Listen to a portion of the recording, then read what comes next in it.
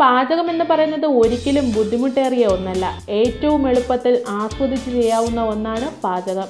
ഇന്നത്തെ തിരക്കിനിടയിലും വളരെ എളുപ്പത്തിൽ തന്നെ പാചകം ചെയ്യാവുന്നതാണ്. അതിനായി ചില പൊടിക്കൈകളിതാ മീൻ പൊടിയാതെ വറുക്കാൻ.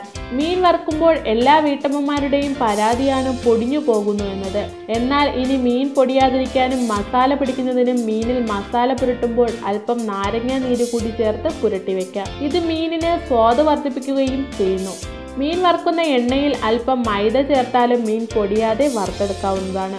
ചായയ്ക്ക് രുചി കൂട്ടാൻ. ചായയ്ക്ക് രുചി കൂട്ടാൻ ചായപ്പൊടി വെയിലത്ത് വെച്ച് അല്പം ഉണക്കിയ ശേഷം ഉപയോഗിക്കുക. ചായയ്ക്ക് സ്വാദും ഗുണവും വർദ്ധിപ്പിക്കുന്നു. ചോറ് കട്ട കെട്ടാതിരിക്കാൻ. ചോറ് വാർത്ത് അല്പം കഴിഞ്ഞാൽ കട്ട കെട്ടിയതായി പല വീട്ടമ്മമാരുടെയും പരാതിയാണ്. എന്നാൽ ചോറ് കട്ട കെട്ടാതിരിക്കാൻ അരി വേവിക്കുന്നതിന് മുൻപായി അല്പനേരം ചൂടുവെള്ളത്തിലിട്ട് വെക്കാവുന്നതാണ്. ഇത് അരിക്ക് വേവ് കൂടുതലാകാതിരിക്കാനും ചോറ് കട്ട കെട്ടാതിരിക്കാനും സഹായിക്കുന്നു. മീൻകറിക്ക് സ്വാദ് കൂട്ടാൻ. പലരും മീൻകറിയിൽ മല്ലിപ്പൊടി ചേർക്കുന്നവരുണ്ട്. എന്നാൽ ഒരിക്കലും മീൻകറിയിൽ മല്ലിപ്പൊടി ചേർക്കരുത്. മാത്രമല്ല വലിയ ഉള്ളിക്ക് പകരം ചെറിയ ഉള്ളി ചേർക്കുന്നതും സ്വാദ് കൂട്ടാനും കേടാകാതെ രണ്ടോ മൂന്നോ ദിവസം ഇരിക്കാനും സഹായിക്കുന്നു.